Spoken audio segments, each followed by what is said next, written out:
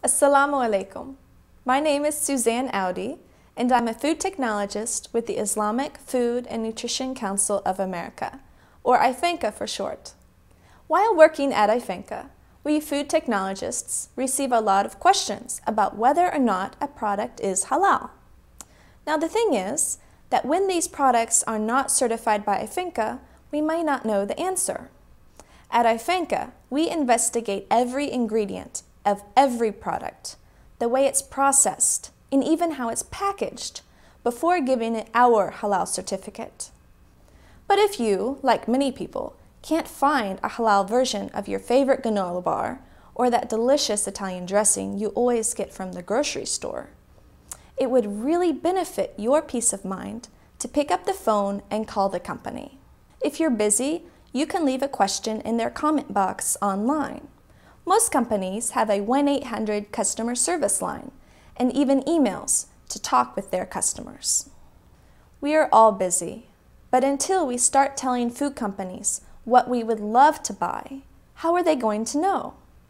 Every time you leave a message, either on the phone, email, or comment box, these messages start adding up under a certain category.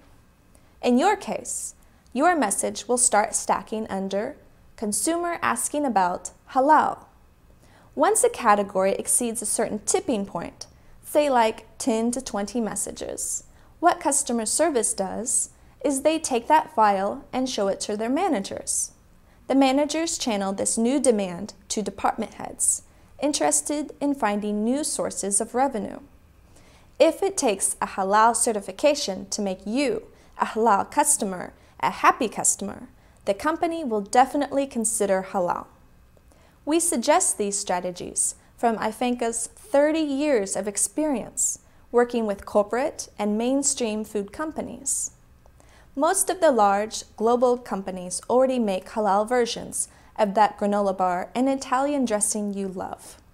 But they sell it in Muslim majority countries, like in the Middle East or South Asia.